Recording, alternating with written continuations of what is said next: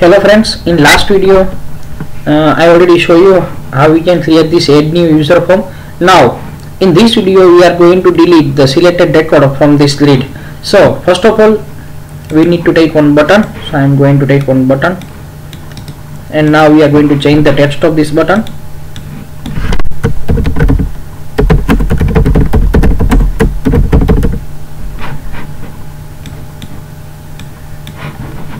and now we are going to set the font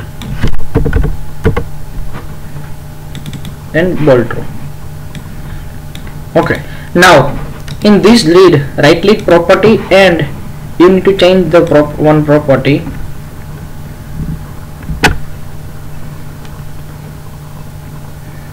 You have to take the selection mode and you have to select this full row select. By default you have this uh, row header select but now you have to select this full row select.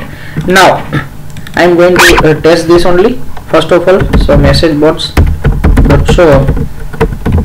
Data gdb1 dot selected cells. Dot zero dot value. Dot to string now we are going to check this. We want to get uh, the selected uh, id so id column is 1 0 sorry. Because it is our first column. So id is 0 i will show you you can see this is the first column so id is 0 now I am going to select this and delete selected user. And you can show we get this selected id on these alert box okay. Now we are going to pass here delete query. So I am going to declare here one variable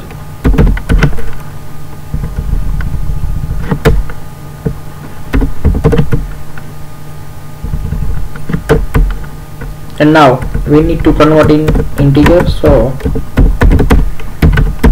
convert dot to int 32 and now we are going to write here delete query.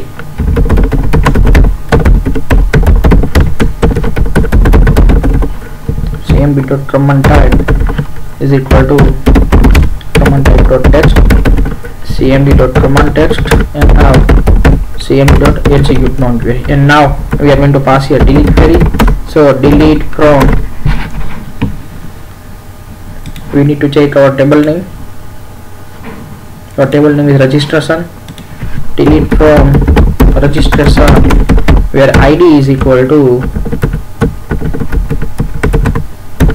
id and now after delete this record we need to call this display function. So i am going to call this display function. Now we are going to check.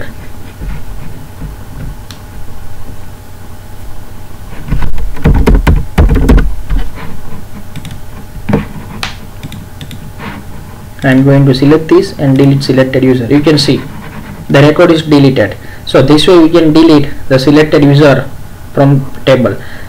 Now in next video we are going to add units means kilogram gram I will show you in next video. Thank you so much for watching my video